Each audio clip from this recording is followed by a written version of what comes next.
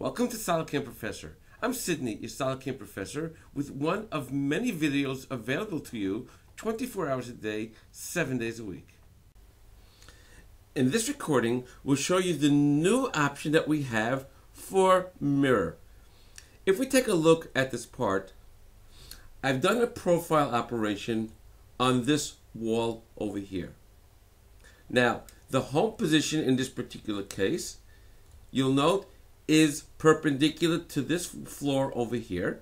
And afterwards, I like to do a mirror operation on this side over here, which is at the exact mirror of this floor over here.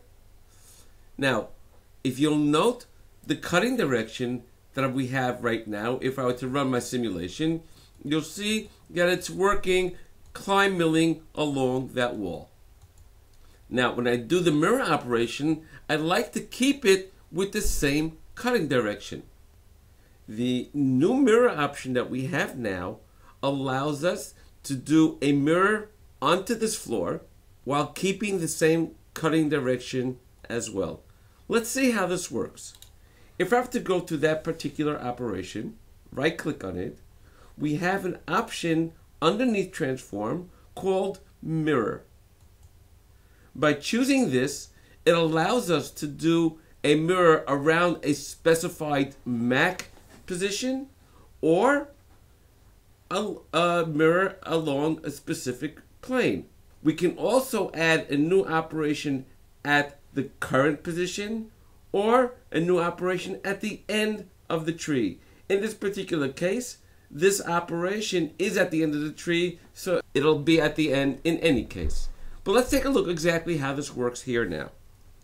Now, leaving it mirror about Mac 1 position 3, which is the Mac position that I worked on, won't be good because that will only put it at the wrong location over here. So we can do the option instead of Mac 1 position 1. In that particular case, it's going to go around that first particular position. Now we can also choose whether we want it around XY, YZ, or ZX. In this particular case, when I click on YZ, you'll see that it's going to the exact position where I need it. We can accept that. And as you can see, it actually created a new operation. If I were to open up that operation, it acts just like any other operation. And you'll note that it created a new Mac position that's an exact mirror of that particular Mac position that we were working on before. We have the option of modify of this particular geometry, everything it need in this particular operation. Let's take a look now at the simulation and as you can see it's working over here also in the climb direction.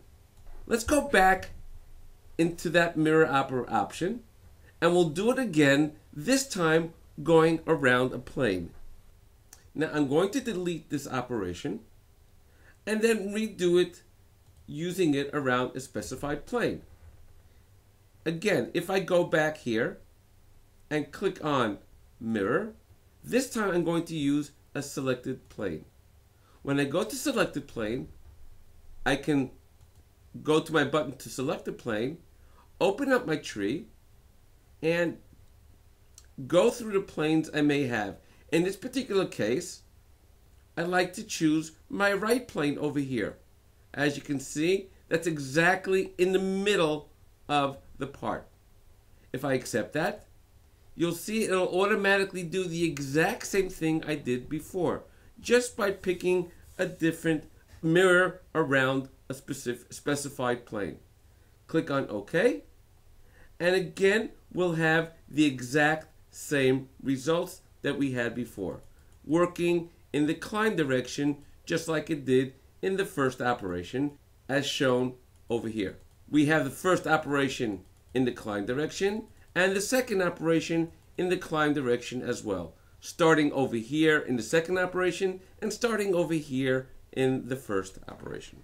For more videos on SolidCAM Professor, please go to our website www.solidcam.com and look for our Professor tab. Take care and have a nice day.